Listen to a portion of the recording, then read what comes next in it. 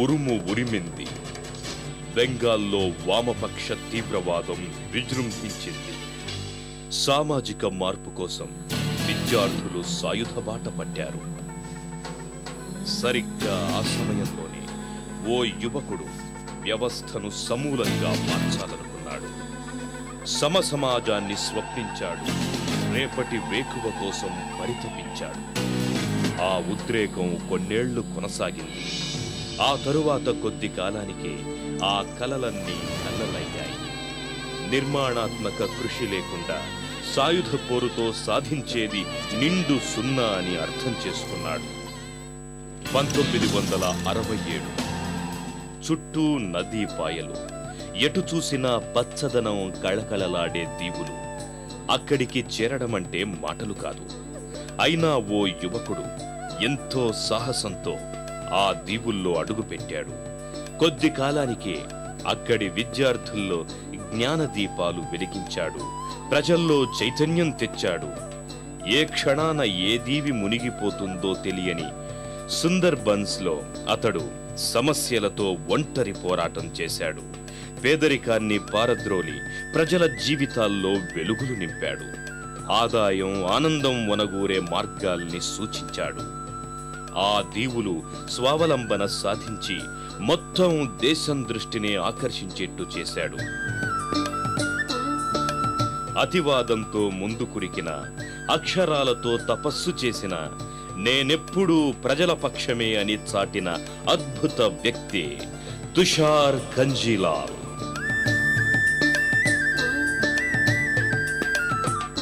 తీరం దొరకని జీవితాలకు చుక్కానిలా తోడు నిలిచిన తుషార్ కంజీలాల్ పంతొమ్మిది వందల ముప్పై ఐదు ఫిబ్రవరి మూడున బంగ్లాదేశ్లోని నోవాకాళీలో జన్మించారు.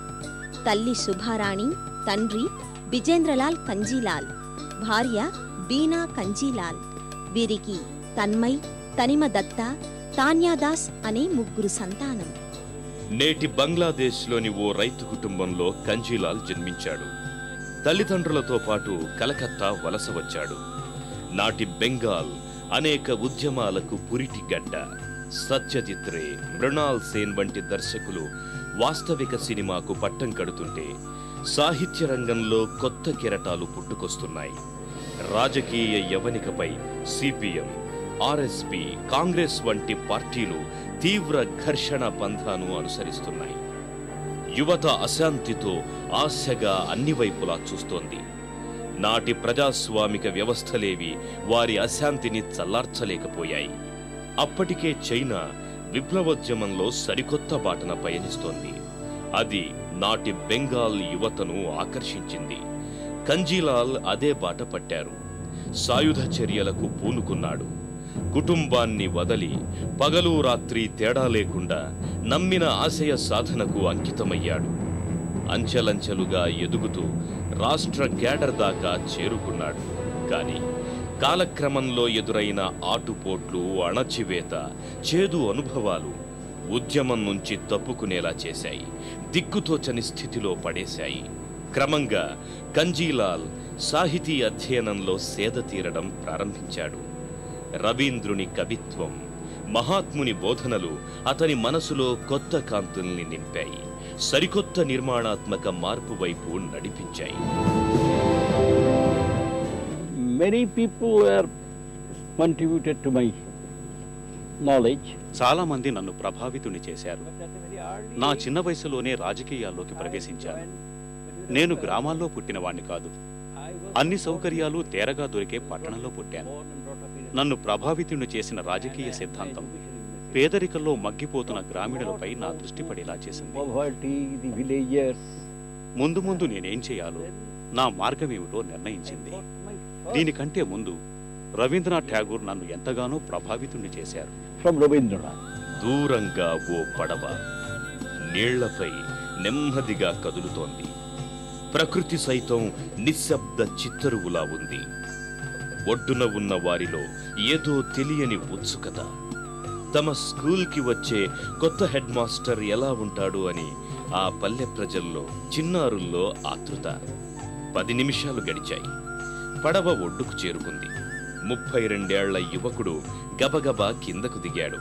కొత్తగా మీ ఊరికి వచ్చిన ప్రధానోపాధ్యాయుణ్ణి అని పరిచయం చేసుకున్నాడు. ఇలా పంతొమ్మిది వందల అరవై ఏడులో సుందర్బన్స్ దీవులతో కంజీలాల్ అనుబంధం మొదలయ్యింది. అయితే ఆయనక్కడికి రావడం అదే మొదటిసారి కాదు.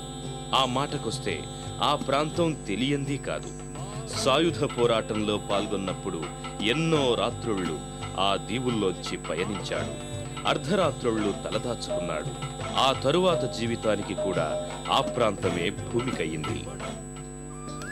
గంగా నది పరివాహకంలో ఏర్పడ్డ సుందర్బన్స్ మొత్తం నూట రెండు దీవులు వీటిల్లో యాభై నాలుగు పశ్చిమ బెంగాల్లో మిగిలినవి బంగ్లాదేశ్లో విస్తరించి ఉన్నాయి. ఒక్కో దీవి పరిమాణాన్ని బట్టి అందులో పది పదిహేను దాకా గ్రామాలుంటాయి. చుట్టూ నీరు పరచుకున్న పచ్చదనంతో ఉండే ఈ దీవులు ఎండాకాలంలో అద్భుతంగా కనిపిస్తాయి. వర్షాకాలంలో మాత్రం విపత్తులకు నెలవులుగా మారిపోతాయి. కుండపోతలు తుపానులకు ఏ దీవి ఉంటుందో ఏది ఉండదో చెప్పలేని పరిస్థితి. దాదాపు ముప్పై లక్షల జనాభా బిక్కుబిక్కుమంటుంది. అటువంటి సుందర్బన్స్లోని గోసాబా ఓ దీవి. దానిలో ఓ మోస్తరు పెద్ద గ్రామమే రంగ్ బెలియా అక్కడి పాఠశాలలో చేరడంతో కంజీలాల్ జీవితంలో కొత్త అధ్యాయం మొదలయ్యింది. పగలు బడి పాఠాలు. సాయంత్రం ప్రకృతి ఆరాధన అయినా మధ్య మధ్యలో అక్కడి దీవుల్లో పేదరికం ఆ ప్రజల వెనకబాటుతనం కంటపడ్డప్పుడు మనసు కల్లోలమయ్యేది. వారి కోసం ఏం చేయలేమా? జీవన పరిస్థితుల్లో మార్పు తీసుకురాలేమా అని ఆలోచించేవాడు కానీ అవి కొలిక్కి రాకముందే రోజువారీ పనులతో బిజీ అయిపోయేవాడు. ఇలా ఎనిమిదేళ్ళు గడిచిపోయాయి. గ్రామాల్లో ఏ మార్పు రాలేదు. వాటి బారిన పడే వారి సంఖ్య ఒకటికి నాలుగు రెట్లు పెరిగింది. ఆ సమయంలోనే అనూహ్య సంఘటన ఒకటి జరిగింది. అదే అతని జీవితంలో మేలి మలుపుగా మారింది. ఆపన్నులకు అండగా నిలిచేలా అతణ్ణి కార్యోన్ముఖుణ్ణి చేసింది.